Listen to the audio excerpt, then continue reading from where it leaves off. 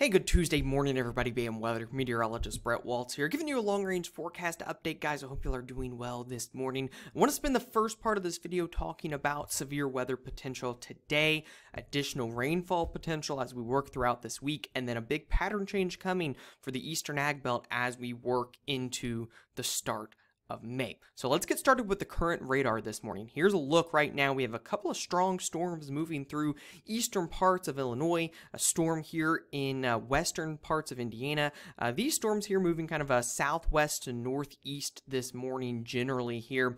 Uh, and this is just the first round of what will be several across the area as we work throughout the day today. Here's a secondary line. Actually, severe warnings on this line right now, uh, including the Joplin area and southwestern parts of Missouri we zoom in here, take a look at that reflectivity value. Some large hail and 70 mile per hour wind gusts possible with this line. This will continue to push further off to the north and to the east as we work throughout the day today, bringing a severe weather threat into the Ohio Valley. If we turn on our day one severe weather outlook, guys, uh, you can see that these storms are already packing a punch in the slight risk area. That's a two on a scale of five, an enhanced risk further off to the east where these storms will be able to tap into even a little bit more instability. Uh, across parts of southern Indiana, Ohio, northern Kentucky, western Pennsylvania, and western New York this afternoon and into this evening. Taking a look here at the simulated radar, I will turn our time on in the top right so you all can uh, have an idea of what time that we are looking at here. I'll shift this over so you can see it. This is from the synopticwx.com platform uh, if you're looking for model data, and this is the latest run of the HRRR. And uh, again, guys, this activity further out to the west will be pushing to the east as we work throughout the day today. If we zoom out here, we can take a full picture look at this. Continuing with a couple of these rounds of storms as we work throughout the morning hours today, uh, but then this activity further out to the west will ramp up in eastern Missouri, southern Illinois, and eventually into southern Indiana and northern Kentucky as we work into this evening. This is by about 4 or 5 o'clock this evening, guys. Uh, these storms certainly have the potential of producing damaging winds and, and I think large hail. You know, I don't want to. Uh, shy away from the hail threat with these storms as well because there's a lot of instability. If we take a look at our instability signal as these storms move through, you know, we're talking about more than 2,000 joules per kilogram of CAPE in spots across the lower Ohio Valley. Certainly plenty of energy to produce damaging winds, frequent lightning, and the potential for large hail. I do think the tornado threat is rather isolated in nature. I don't think that's the primary threat with this system as it moves through. By 6, 7, 8 o'clock, these storms continuing to push through the Ohio Valley here, guys. Uh, we've got some storms up into parts of the northeast as well that could produce some damaging wind gusts. And then we have a secondary area across the southern plains that could also pack a punch. Um, these areas continue to deal with some heavy rain over the next seven days. Taking a look at the forecast over the next seven days, here's a look at our weeks one and two outlook. Uh, overall, continuing to run a little bit milder than normal the next seven days across the ag belt. Uh, take a look at the precipitation forecast, though, drier across the north central U.S., more active as this boundary kind of stalls out across the southern plains and into the Ohio Valley. If we go back to the synoptic weather platform here, uh, we favor the GFS forecast this morning. Uh, if we take a look at the total rainfall expected here as we work over the next seven days, we can watch as this fills in uh, kind of throughout the week, but then getting quieter. You can see we don't have much more rain additionally as we work through the weekend and into next week, uh, but certainly some heavy rain continuing to be possible here across Oklahoma, Missouri, uh, and relatively active here across the Ohio Valley as well the next seven days. Uh, again, as we work into the week two time frame, temperatures for the most part in the ag belt warmer than normal, but you can see here precipitation forecasts beginning to trend drier, especially for the eastern ag belt. You know, I think that we're in a pretty good spot here to finally dry things out and get more planting done if you were in this region. Certainly parts of Kentucky, Missouri, southern Indiana, southern Illinois have been pretty active this should be a better period with more warm conditions and more dry time in the forecast. Taking a look at the upper level pattern, I think that this is something to monitor as we get into the week two time frame. We send our areas of high pressure well off to the north, and we get these upper level lows to kind of cut off down to the south. That's going to produce, you know, additional heavy moisture threats across the southern plains. My concern for areas further to the north, if you're looking for rain, is when this happens, it has a tendency to trend drier to the north. My concern here as we go throughout the week two time frame is that there's the risk that the drier than normal conditions could expand further to the north and to the west across the northern plains. It all depends on how these upper level lows evolve. If they can cut off a little bit further to the north, the Dakotas, Nebraska, Minnesota will get some rain. If not, as this model here is indicating, they will end up a little bit drier. It's why right now we're leaning towards a solution that's at least more normal or messy with rainfall in the week two time frame for the northern plains.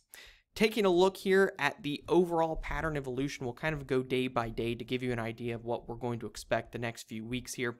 A cold front moving through as we work into this weekend here, guys. You can see uh, a decently cooler day as we work into Saturday and into Sunday, but it doesn't last. You can see the warmth builds right back in, and it sets up uh, pretty consistently across the middle of the country as we work throughout the week two time frame. Really no notable change expected in the pattern as we go throughout the week two time frame. Consistently warmer than normal expected through the second week of May. And I think a lot of that has to do with our global winds. This is the most dominant pattern driver right now. We have been consistently negative or weaker than normal with our global winds since the middle part of February. And if you look at the forecast out through the next 25 days or so, continuing to stay very negative.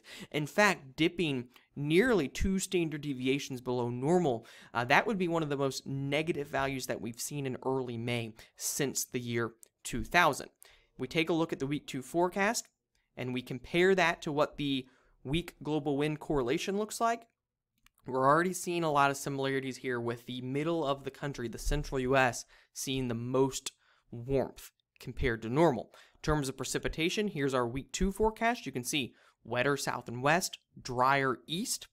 Looks very similar here to that same correlation for precip. The blues and purples in this case are drier, which you can kind of see here in this region.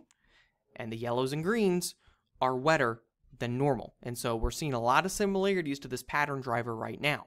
So what does that mean as we work into weeks three and four? Well, what I decided to do today was look at years and dates where we had a very strong negative AAM in early May and take that out 10, 15 days after it happened.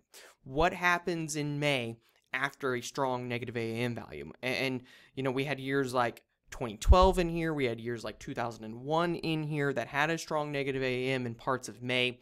And in general, it favors warmth, especially across the northern tier of the United States, more seasonable down to the south. In terms of precipitation, wetter than normal in this case down in the south and east portion of the country, drier than normal for the middle of the country, maybe some moisture in the Canadian prairies in the far northern plains. And so, you know, this would indicate that the drier risks that develop in week two for the eastern ag belt can hang around. And if we look at what we ultimately went with for our weeks three and four forecast, it's more of the same. You know, I don't see a big pattern change expected as we get into the middle part of May. I think it's a warmer than normal pattern, especially for the northern tier of the US. And I think that it's a drier than normal pattern for the eastern ag belt. And I think that some of that can expand into more of Nebraska and Iowa and maybe Kansas as well as we go throughout this period. I wouldn't be shocked. You know, at times you're probably going to get some moisture through the plains in here, this type of an action. But I think the further down the road that we go, the more likely it is that that kind of starts to wind down. And, so I, I think, uh, you know, drier than normal for a good portion of the ag belt possible, your best precipitation chances far southern plains and far parts of the northern plains, which again should be good to get some planting done, but the combination here, I would not be shocked to start seeing the soil moisture dry out once again.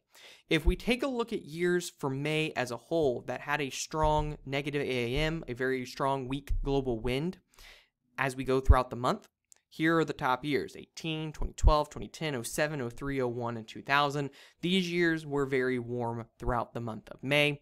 And if you take a look at the data for May right now, maybe a little bit further west of where these analogs indicate, but they certainly tend to favor the warm pattern as we go throughout the month of May.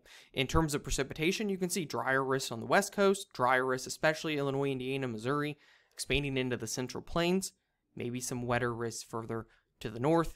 It's very similar here to what the latest CFS monthly is indicating in terms of dryness east, some wetter risk south, maybe in the Canadian prairies and the northern plains for the month of May. Here's a look at the EPS weekly. Matches up with this uh, pretty close. And so uh, we're seeing multiple different pattern drivers talking right now in terms of this transition to being less active across the eastern belt as we get into May, which again should help folks that maybe have been a little bit behind in terms of planting finish things up. But it will also likely start to dry out that soil moisture and lead into our concerns into summer, which is drought potential for the middle part of the country. Guys, that's all that we have for today's forecast. If you have questions, please don't hesitate to reach out. Have a great rest of your day.